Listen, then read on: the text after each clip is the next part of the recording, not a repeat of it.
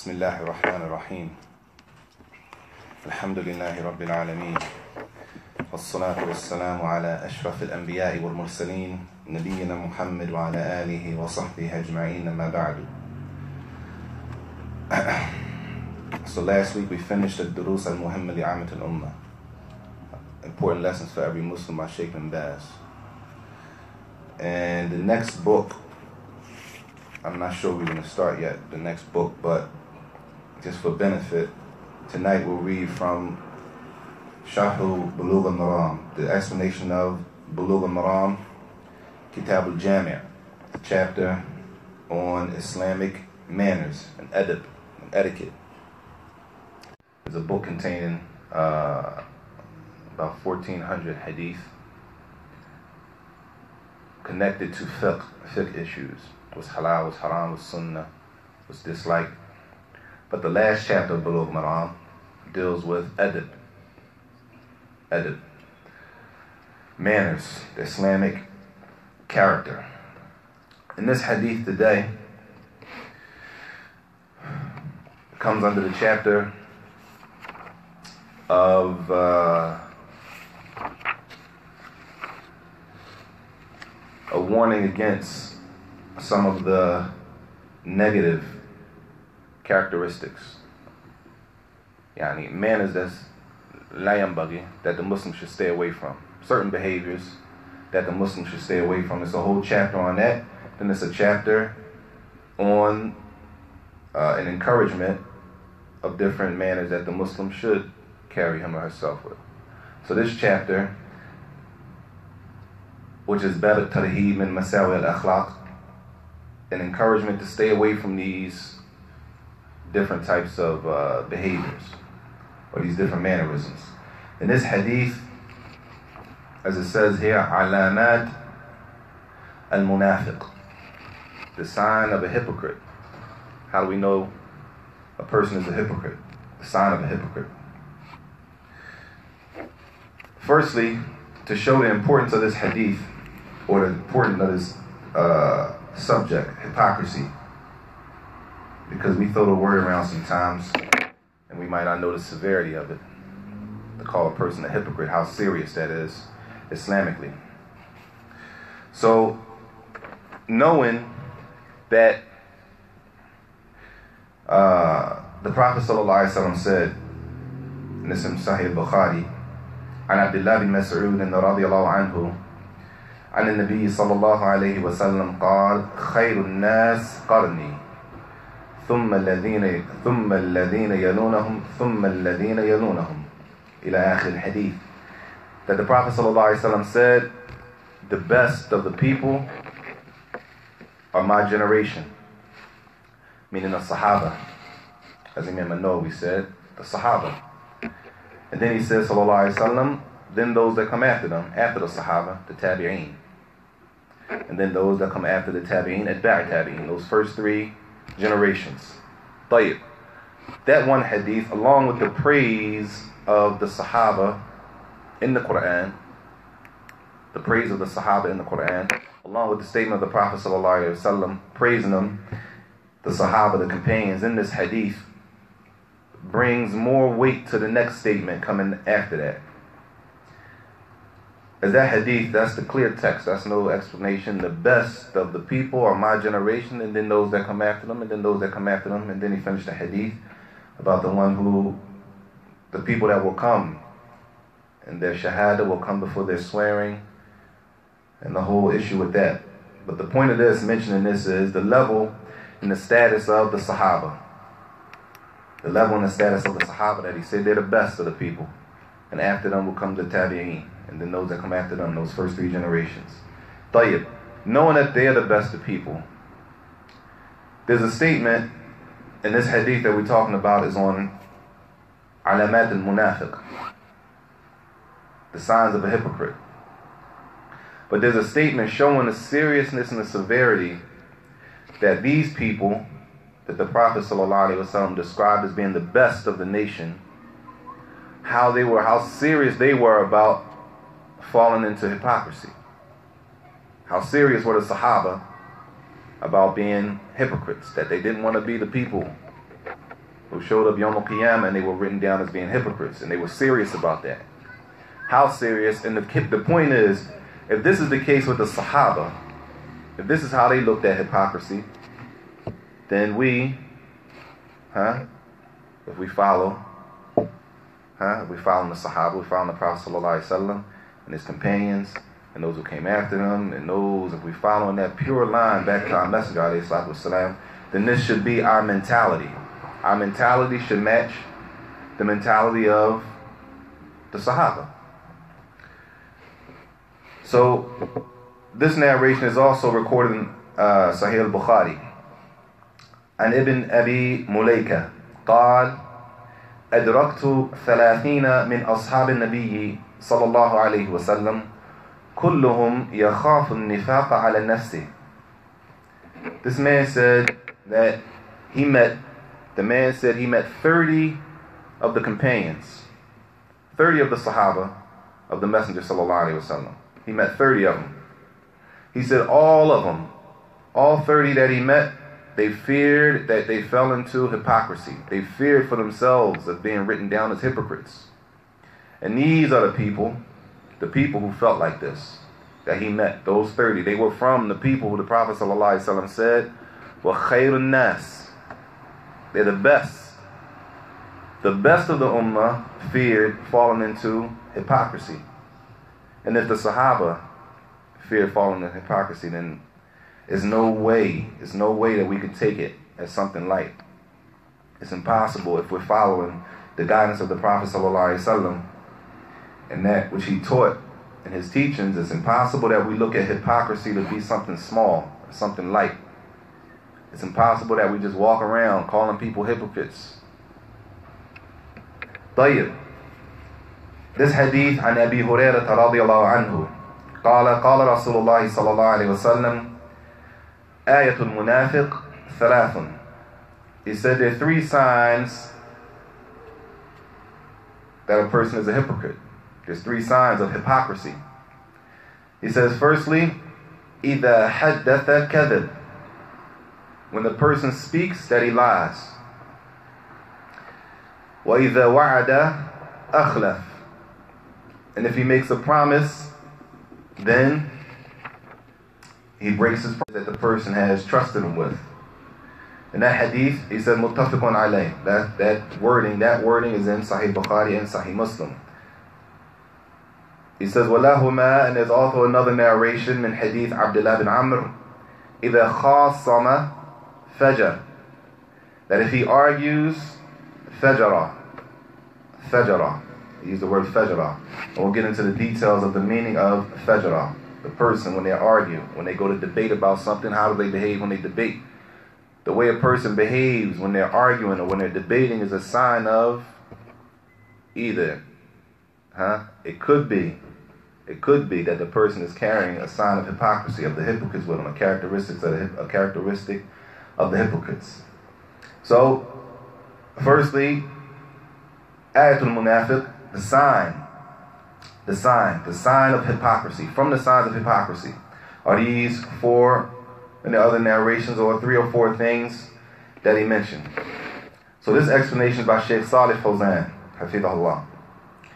He says, firstly, the meaning of an-nifaq, hypocrisy, the meaning of hypocrisy, or ibtan al-shay, I'm sorry, ibtan al-shar, or izhar al-khayr, That a person internally, in the inside, they carry evil but on the outside, they present it as khair, as good. Huh? The inside is evil, what the people can't see, but what's apparent is that the person wants good.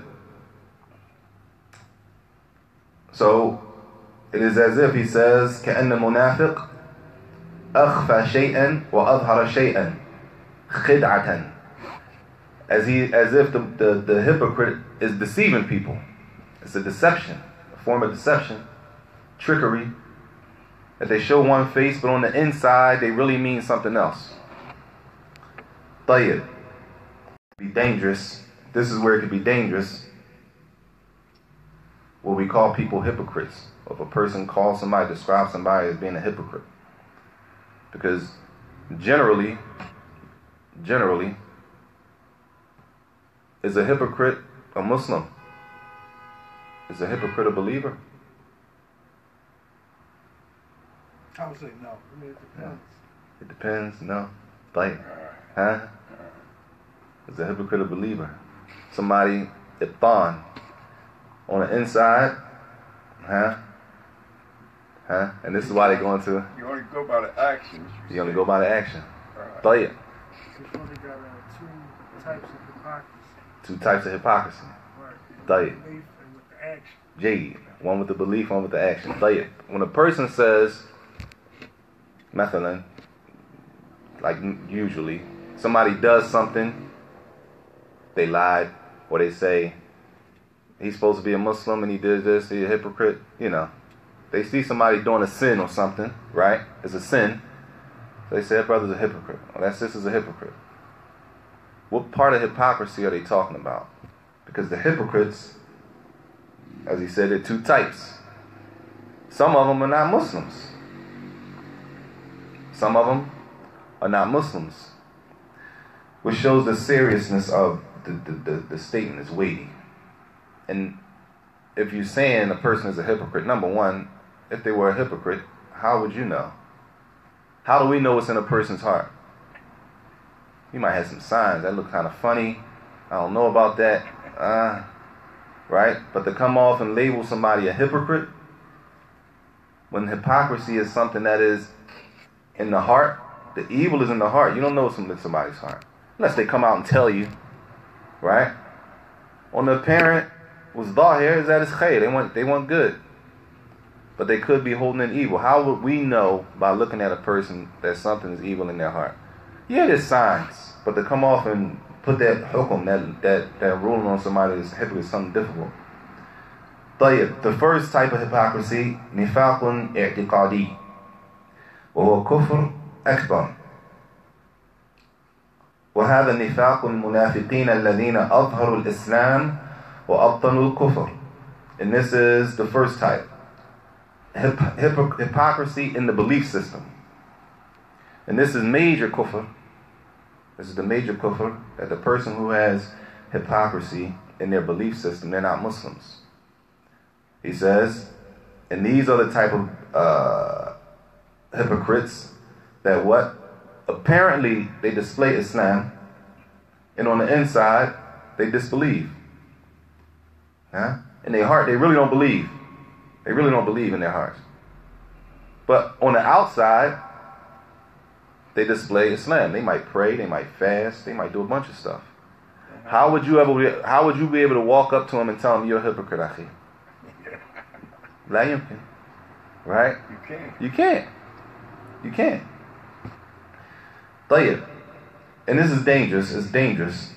And this is the first type that a person doesn't believe in their heart. They don't believe in their heart, but outwardly, outwardly they may display the signs of Al Islam. And that person will be dealt with Yom It's not really our place to walk around pointing fingers and labeling people hypocrites. These people, those are the ones that will be in the lowest part of the hellfire. The lowest part of the hellfire. And this is hypocrisy in the belief. Why? What makes them worse than anybody else? What makes them worse than someone who for example said there is no creator right because the, the hypocrite may believe there is a creator, right? He may believe in a rububiyyah, yes, because there's a creator who makes it rain, makes it cause life, right? He believes in, might believe in all of that. But they'll be in the lower part of the hellfire than the one, huh, who worship the idol. What makes them worse than them? The action. Their deception. Huh? Their deception. The deception. Jade. Because they're saying one thing, doing another. Well, the guy's straight out saying, I'm this, Mm. and living it. Jade. You know, so he's not trying to betray anybody or, you know, deceive anyone. Jade. Exactly. The deception. Not that they only disbelieve, like others that disbelieve. On top of them disbelieving like others, which they may be equal, they all disbelieve. On top of that, they have deception with them. On top of the, the disbelief, there's deception along with the disbelief. So he says, لأنهم لم يسلموا ولم يؤمنوا إلا ظاهرا فقط وأما في قلوبهم فهم كفار They never accepted Islam or believed except apparent. Maybe it was some type of benefit to it. Maybe it was some benefit. It could have been a benefit to them displaying themselves as Muslims. Possible. But internally, they really disbelieved.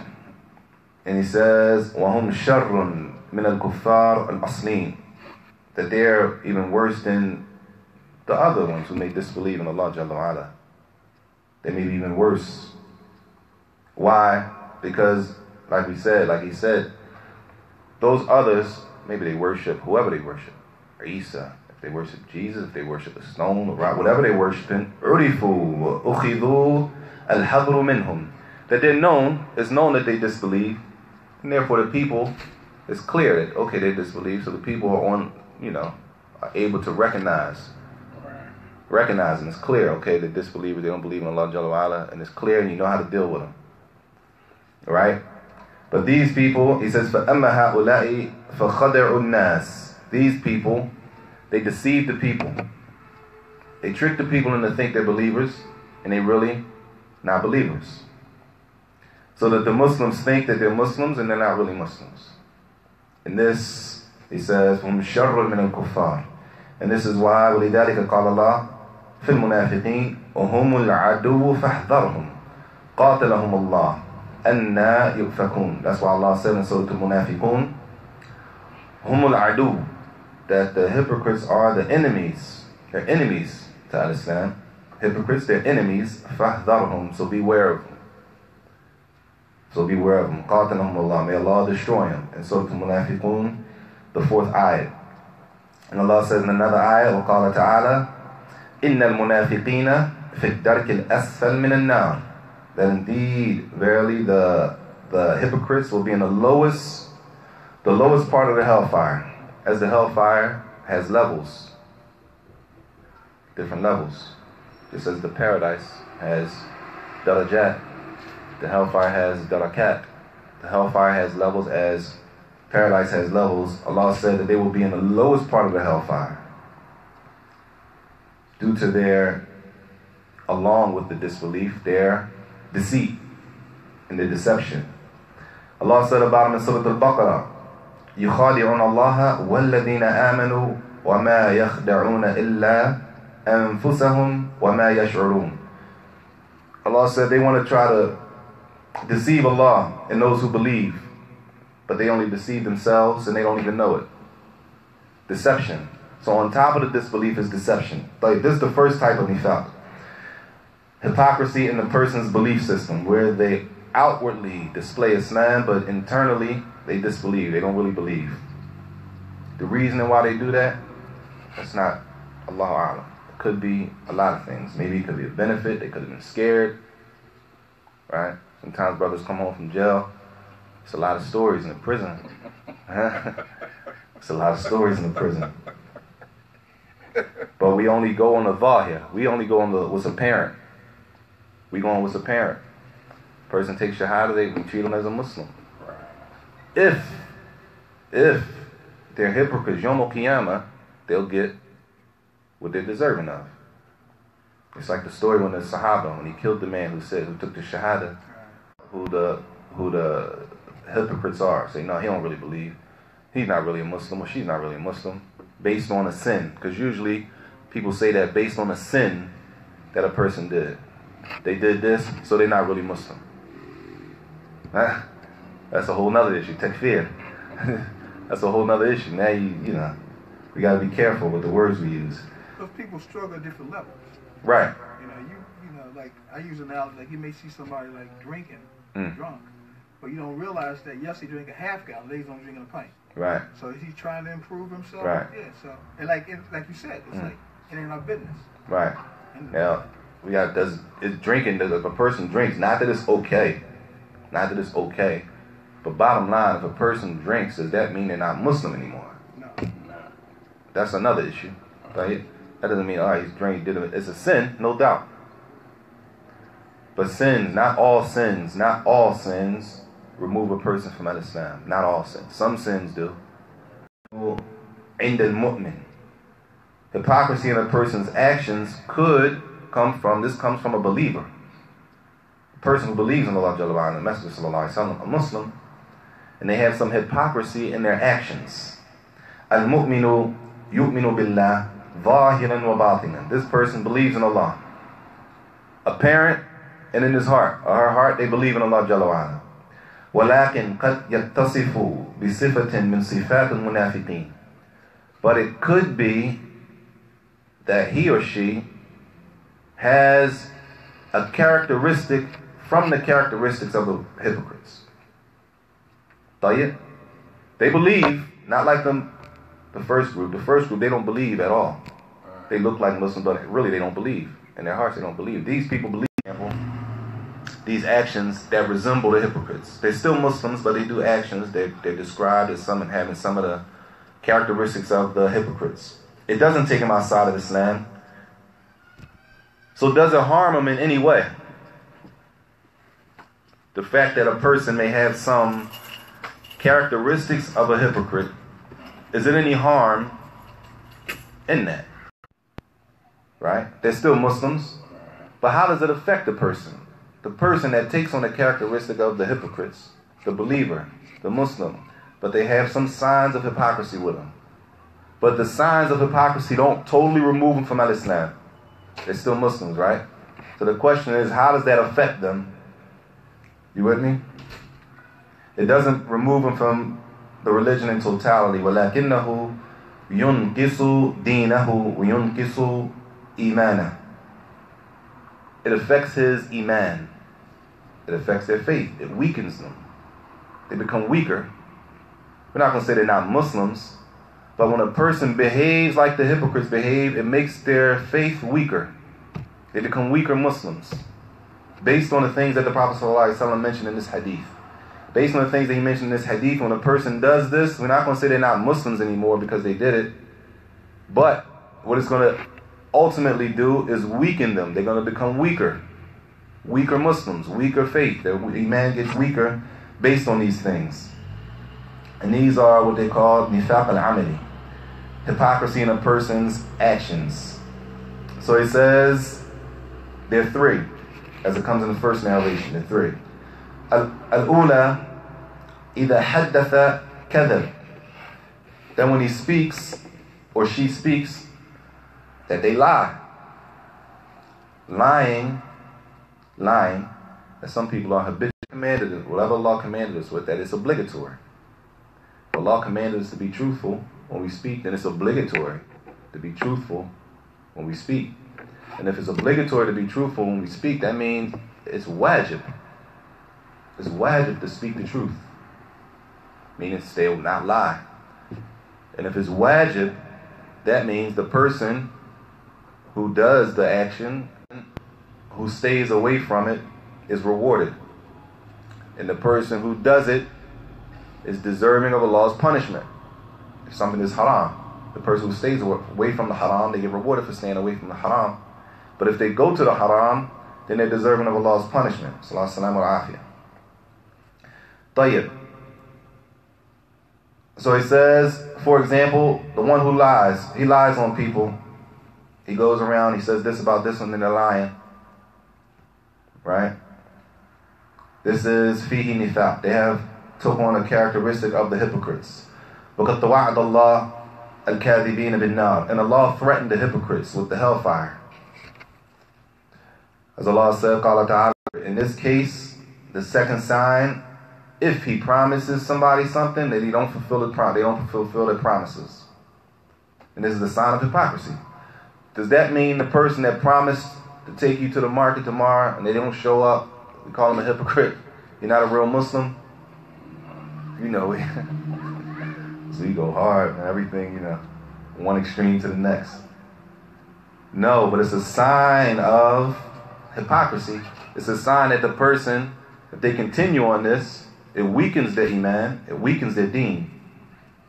As for the believer, then the believer fulfills the the promise, their promise. ولا يخلف وعده وهو يقدر على الوفاء به that we shouldn't break promises as long as we're able. As long as we're able and able to do it, and we promise somebody something, we should carry it out. If there's an emergency, something happens, and you're really not able to do it, then that's a different situation. That's a different situation. As far as breaking promises, and a person is able to do it, and I just told him that just to get him out my face. I told her that because she just kept talking. He says, لأنه إذا أخلف الوعود صار من المنافقين. A person breaks their promise, then they've taken on this characteristic of the hypocrites. And if we think about that first statement, I'm Ibn Mulaika" or Abi Mulaika," that he said he met 30 of the Sahaba, 30 of the Sahaba that feared for themselves hypocrisy. 30 of them. And that was the mentality of the Sahaba. And then he gets into an issue that we won't go deep in. وَقَدْ اخْتَلَفَ عُلَمَاء هَلَ الْوَفَاء بِالْوَعْدِ وَاجِبْ is uh, keeping your promise. Most, as there are a group of scholars who said that fulfilling the promise is obligatory, but most of the ulama have said that it is recommended, highly recommended, highly recommended. And we'll stop there for that on the ikhtilaf in that issue. Some have said it is obligatory based on this hadith. Others have said it is a highly recommended action. Tayyib, the third sign of hypocrisy said, إذا أؤتمن أؤتمن أؤتمن خان. The secret. And this one is, uh, it may be more common. Sometimes people do. You give somebody something, I'll be back in, you know, a month or so. I just get it when I come back. Just keep it. You come back in a month, they don't have it. You trusted them with something, and they break the trust. They don't hold their trust. Or you give, you tell them a secret, and a lot of times we tell, we say, yo, this is between me and you. Just don't leave the room. Or whatever, whatever terms we use, it's between me and you. Fulfill our trust.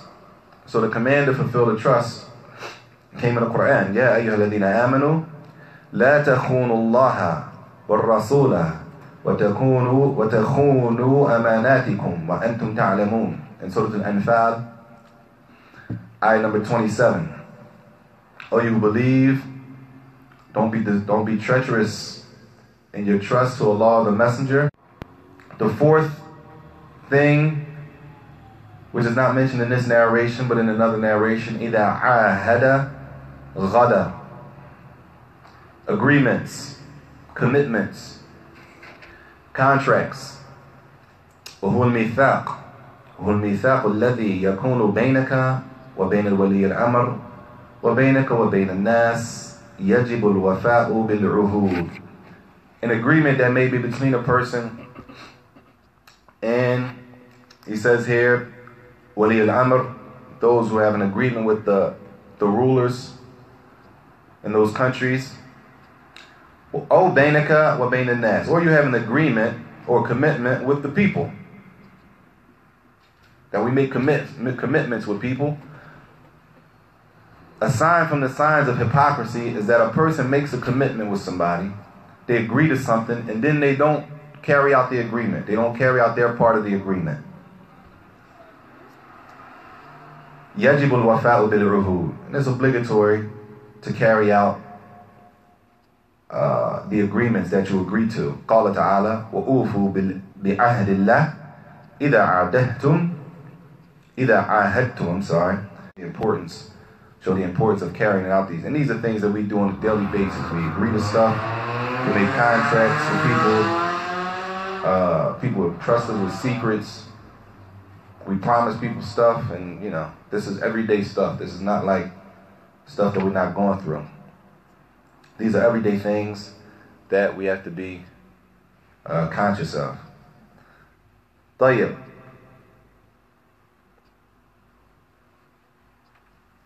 He says, فيجب على المسلم أن يفي بالأهد بالعهد إذا عاهدا. That is obligatory on a Muslim to carry out, carry out huh, their commitments that they commit to, their agreements.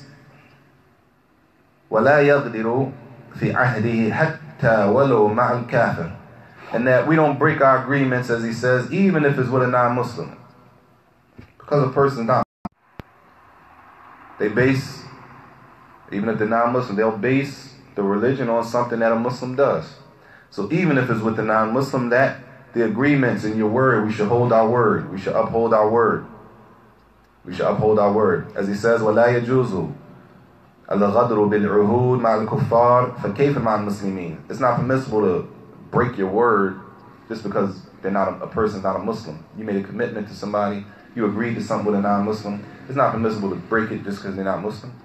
And if it's not permissible to break it with a non-Muslim, then it's definitely not permissible to break it with a Muslim. And these are these are small these are small things that we deal with on a daily basis. فيجب الوفاء بالعهد So it's obligatory to carry out to carry out uh, our agreement and to keep our word, as you say. I say my word, you're not. And those type of that type of uh, what do you call it? That type of principle. We might know it from the street, but it agrees. If Islam, if it agrees with the Sharia, it doesn't mean we have to throw it away. Islam encourages us to keep our word. And if we don't keep our word, then as the Prophet ﷺ said, then it's from the signs of a hypocrite. He says, Al-Khamisu, he said the last sign, إِذَا خَاصَمَ فَجَرَ He says, من علامات المنافق أنه يكذب في الخصومات عند الحكام. The sign of a hypocrite is that they lie when they go to debate or present their case in front of the judge. Hmm? Lying when it comes to debating. Debating in general, and he mentions specifically. فَيَحْلِفُ كَاذِبًا Right? This is what I'm trying to do. So this I'm gonna say this, and you say this this way. Right? They bring a false witness in front of the judge. Right? It happens. He says, why لأجل أن يكسب القضية ويأخذ أموال الناس. Possibly to get money. Right? They're trying to win a case. Case money. It's real. Right? They might bring a person who wasn't there. Right? They bring false witnesses in front of the judge. They swear. They might take a bribe. Huh? If I win, this is an eighty thousand dollar case. I'll break you, you know. I'm gonna look out. It's real. Yeah, stuff is real. That they go in front of the judge. There's a lot of times in the in the in the uh, the uh, the child support, the child support cases. Allah Alam. Sis came in there, she lied straight up, swore by Allah, right in front of the judge. I was standing there. Allah Alam. if that's the case, and people do that a lot, the Prophet ﷺ said that that's from the signs of a hypocrite. So, even when we present our cases, we're truthful. That we're supposed to be truthful, even if we forget our case. And that we don't bring false witnesses. We don't bring a false witness. We don't lie. We don't swear by Allah and we're lying so that we can win the case. So that, as he says, فَيَكُونُ صَادِقًا فِي خُصُومَتِهِ That even in the debates, even when we go to court, even when we go to court and the person on the other side is a kafir, they're not Muslim, it doesn't mean we lie. Islam didn't allow that. Islam didn't allow us to oppress people because they're not Muslim. Islam didn't allow women to oppress men in the child support court because he's, you know, he, he doing what he's supposed to do. Islam didn't allow the man to oppress the woman in the court because they had a fallout. All of those things fall under either khas or fajr. That a person may come with something false in order to win the case.